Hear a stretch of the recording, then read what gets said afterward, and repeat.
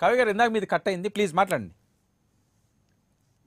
Sir మేము మన ప్రభుత్వం మేము అడుగుతుంది ఏంటంటే సినిమా సమస్యలు అనేవి గత మూడు సంవత్సరాల నుంచే ఇప్పుడు ఈ ప్రభుత్వం అధికారానికి వచ్చిన తర్వాతే వచ్చాయా? లేదు గతంలో కూడా ఉన్నాయా?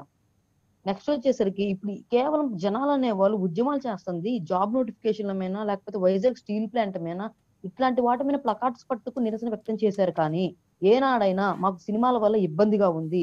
మేము సినిమాల వల్ల రోడ్డు పాలు అవుతున్నామని ఏ రోజైనా ఏ కార్మికుడైనా రోడ్డు మీదకి వచ్చి ధర్నాలు చేశారా? లేదు. నెక్స్ట్ ఇంకొక మాట ఏంటంటే సార్ ఆ, మన ఆర్జీవి గారు ఎలా వస్తారు ఎలా వెళ్తారో మీకు తెలిసింది ఇందాక మీరే వర్ణించారు.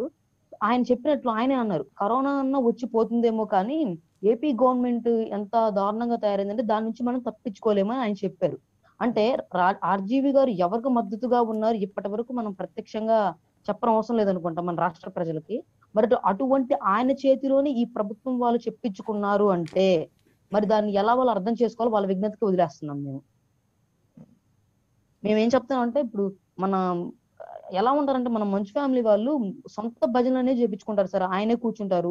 ఆయన పక్కన ఉన్న వాళ్ళే మీరు పెద్ద మీరు పెద్ద అనిపించుకుంటారు కానీ చిరంజీవి గారికి ఆ అవసరం అయితే లేదు. పవన్ కళ్యాణ్ గారికి అవసరం అంతకు మించి లేదు. సమస్యలు ఏ అయితే ఉన్నాయో రాష్ట్రంలో సమస్యలు ఉన్నాయి ఇవి మేము ఒకటి చెప్తుంటే వాటిని తప్పించేందుకు ఇంకొక సినిమా తీసుకొచ్చి చూపిస్తారు ఏంటి సార్ మీరు? ఇరవై రూపాయల సినిమాని చూడకపోతే ఇరవై రూపాయలు మీరు పెట్టారు. రెండు వందల యాభై రూపాయలు సినిమా టికెట్ ఇరవై రూపాయలు చేశారు. ఇరవై రూపాయలు పెట్టి సినిమా చూస్తే లాభము నష్టం అనేది అంటే ఒక ప్రైవేట్ పరంగా వ్యక్తుల చేతిలో ఉన్న దాన్ని ప్రభుత్వం ఆధీనంలో తీసుకోవాలని చూస్తుంది మరి. మరి ఇటువంటివి నిజంగా మీకు ప్రజలు కష్టాల్లో ఉన్నారు వాళ్ళ యొక్క మీరు కాపాడాలనుకునే పని అయితే ఏ వైద్య రంగాన్ని మీరు చేసేయండి ప్రైవేట్ ప్రభుత్వ పరంగా. ఆ బిల్లులన్నీ మీరు గవర్నమెంట్ వాళ్ళ దగ్గర ఉండి ఆన్లైన్ అంటే ఎటువంటి మార్పింగ్ లేకుండా ఎటువంటి తప్పిదాలు లేకుండా గవర్నమెంట్ స్వతహాగా తీసుకుని మీరు కంట్రోల్లో పెట్టుకోండి. లేకపోతే మీ భారతీయ సిమెంట్ ఒక రేట్లను మన రాష్ట్రంలో ఒక రేటు పక్క రాష్ట్రంలో ఒక రేటు ఎందుకు పెట్టుకుంటున్నారు? మన రాష్ట్రంలోనే మీరు నిజంగా అంత గొప్ప మీరు ప్రజా ఇన్ని లక్షల కోట్లు ఎక్కడ నుండి వస్తున్నాయి సార్ ప్రజాసేవ చేసే వాళ్ళు మీరు అందరికీ? ఎక్కడ నుండి తీసుకొస్తున్నారు? వేల కోట్ల ఎకరాల భూములు ఎక్కడ నుండి వస్తున్నాయి? సమస్యల గురించి మాట్లాడమంటే రోడ్ల పైన పట్టుకుని దిగ వచ్చి మాట్లాడమంటే మేము శ్రమదానం చేస్తామని చెప్పనంటుంటే ఎక్కడి నుండి చేస్తున్నారు? సమస్యలు అమ్మ కావ్యమ్మ చెప్పండి. మీ అభిమానం మీకు ఉండొచ్చు. మీ అభిమానంతో మీరు ఐదు వందలైనా పెట్టుకొని వెళ్తాం వెయ్యి రూపాయలైనా పెట్టుకొని వెళ్తాం. మా ఇష్టం వచ్చినటువంటి రేటు పెట్టుకుంటాం అంటే ఒక్క నిమిషం. అది మీ ఇష్టం అమ్మ మీ ఇష్ట ప్రకారం మీరు ఒక హుండీ పెట్టండి అక్కడ. అంతకుముందు చంద్రబాబు నాయుడు గారు పెట్టారు అట్లానే. సినిమా థియేటర్లో నూట యాభై అనుకోండి టికెట్ మీరు అభిమానులంతా ఒక హుండీ పెట్టి వినండి అమ్మ ఒక హుండీ పెట్టి డైలీ కలెక్షన్ ఎంత వస్తుందో వచ్చేసి ఆ ప్రొడ్యూసర్కో లేదంటే మీ అభిమాన హీరోకో ఇచ్చి మీరు మీరు అభిమాన హీరోని. ఎంటర్టైన్ చేయండి. నో ప్రాబ్లం నో ప్రాబ్లం దాన్ని ఎవరు ఎంత రెండు రెండు వినండి. వినండి వినండి. వైద్య రంగం కావచ్చు అమ్మా వైద్య రంగం కావచ్చు విద్యా రంగం కావచ్చు ఇదే స్కూల్ ఫీజులు ఇదే స్కూల్ ఫీజుల మీద నియంత్రణ చేస్తే స్కూల్ ఫీజులు ఇలానే ఉండాలని చెప్తే న్యాయస్థానాలకు వెళ్ళారు తల్లి. ఇంటర్మీడియట్ ఫీజులు ఎంతే ఉండాలంటే న్యాయస్థానాలకు వెళ్ళారమ్మా. ఏ డిగ్రీ ఫీజులు నియంత్రణ ఉండాలంటే న్యాయస్థానాలకు వెళ్ళారు. ఇంజనీరింగ్ ఫీజులు ఇలానే ఉండాలని న్యాయస్థానాలకు వెళ్ళారు.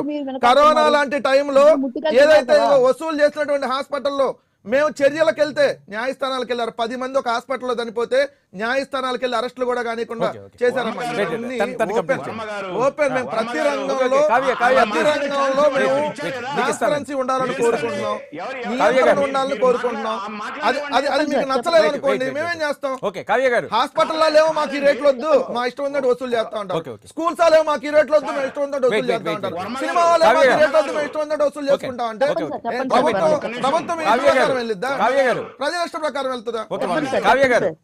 వర్మ గారు వర్మ గారు దిస్ ఇస్ నాట్ సార్. అమ్మాయిని మాట్లాడిన తర్వాత రెండు. నిమిషాలు ఎక్కువ చూసుకోమనండి.